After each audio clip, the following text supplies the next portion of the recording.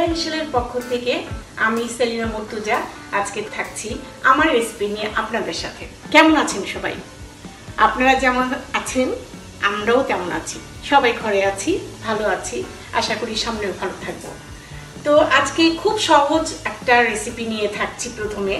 সেটা হলো আমাদের ঘরে এখন আমরা যখন তখন সব কিছু পাই না।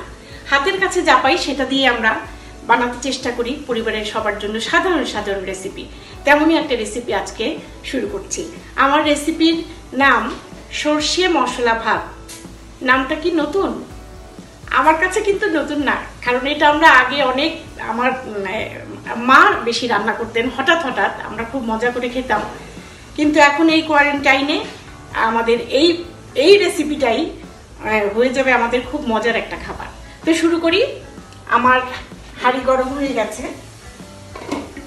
আমি দিয়ে দিব সর্ষের তেল। রেসিপিটাতে সর্ষের তেল লাগবে। এখানে আমি আমার পরিমাণ মতো দিয়েছি। আপনারা ভাত অনুযায়ী বুঝে এটা দিলাম আমি ওয়ান ফুট কাপের মতো দিলাম। এবার দেব পেঁয়াজ কুচি। পেঁয়াজ কুচি একটু ভাজা ভাজা করব।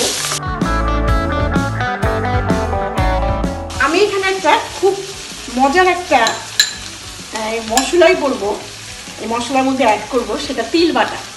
তো তিল বাটা দিচ্ছি এক চা চামচের মতো। দিচ্ছি মূল ইনগ্রিডিয়েন্ট সর্ষে বাটা এক টেবিল চামচের মতো। দিচ্ছি পরিমাণ মতো গুঁড়া মরিচ দিচ্ছি হলুদ, খুব সামান্য, যাতে একটু কালারটা আসে। মানে ভাজা ভাজা করে একটু ভেজে নিয়ে তারপরে আমি ভাতটা দিয়ে আবার একটু ভাজবো। খুব কুইক একটা রেসিপি আশা করি হ্যাংলা হেসেলের সবাই এই রেসিপিটা পছন্দ করবে। তো এখন আমার বাকি রইল ভাত দেয়া। আর আরেকটা কি বাকি রইল? লবণ। সেটা দেবো ভাত দেওয়ার পর। এখানে আমি দেড় কাপের মতো ভাত রেখেছি। নর্মাল ভাত যেটা আমরা খাই প্রতিদিন, সেই ভাতটাই। আপনারা চাইলে গোবিন্দভোগ চাল, বাসমতি চাল দিয়েও রান্না করতে পারেন। তো দিয়ে দিলাম ভাত। বাকি রইল বাকি রইল যেটা না হলে না, সেটা লবণ। সেটাও ভাত অনুযায়ী। বুঝি এটাতে কোনো পানি দেওয়ার প্রয়োজন নেই, কিচ্ছু নেই। একদম ঝরঝরে শুকনো হবে। খেতেও দারুণ লাগবে।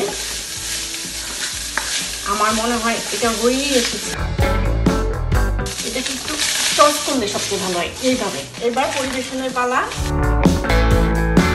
যে কোনো একটা ডিশে যেটাতে রাইস নেওয়া যায়, এমন একটা ডিশে পরিবেশন করে সুন্দর করে যখন টেবিলে দেব, পরিবারের সবার সাথে সবাই বেশ উপভোগ করবে, আমার মনে হয় হয়ে। সর্ষে মশলা ভাত। কেমন হলো আমাকে অবশ্যই জানাবেন। ধন্যবাদ সবাইকে।